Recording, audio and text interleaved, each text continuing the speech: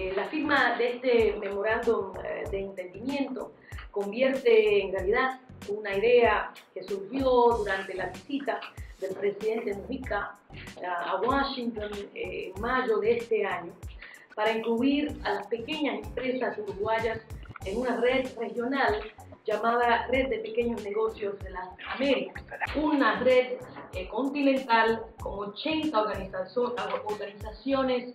que, eh, que, puede brindar servicios a más de 250 mil pequeñas empresas y permite que las pequeñas empresas del hemisferio comparten buenas prácticas, intercambien experiencias de investigación de mercado y aumenten su participación en mercados locales e internacionales. Muchas gracias de nuevo al ministro y a su equipo y a la Cancillería por el apoyo y por darnos la oportunidad de seguir trabajando en conjunto para, para, para mejorar y seguir este, mejorando la relación bilateral que tenemos entre Uruguay y Estados Unidos. Muchas gracias.